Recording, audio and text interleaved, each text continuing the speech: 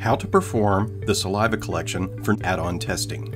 These easy steps will help you successfully complete the saliva collection needed for genomic testing. Please check to ensure you have all the necessary items needed for collection. Two cotton swabs in a sealed package, one specimen collection label, one liter envelope.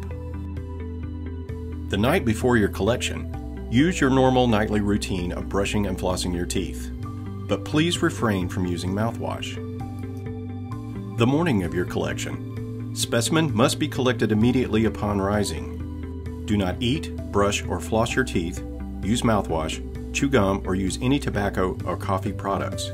You may drink only water before your specimen collection. Just prior to collection, wash your hands completely with hand soap.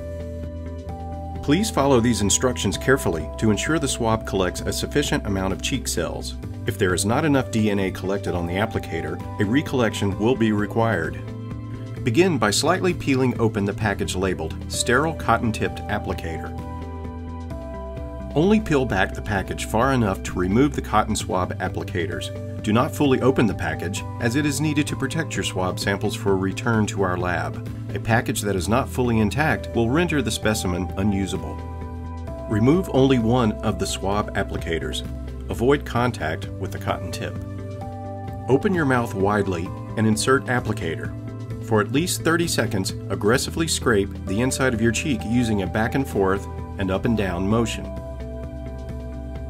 Rotate the swab applicator several times. Avoid excessive saliva.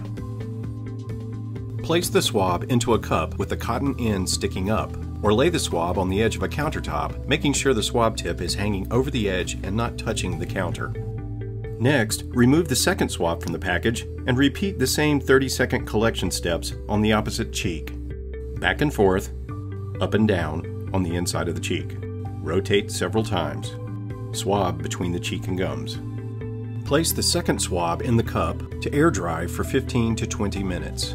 Make a note of the time air drying starts. After 15 to 20 minutes, replace the swabs into the applicator packaging by inserting the swab ends first. Print your full name and collection date on the specimen collection label. Place the specimen collection label on the envelope.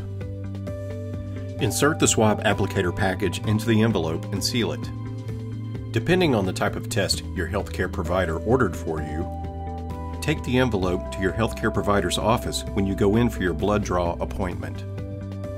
Or, deliver the envelope along with your frozen bag containing your urine sample to your healthcare provider's office. Thank you for using Genova Diagnostics.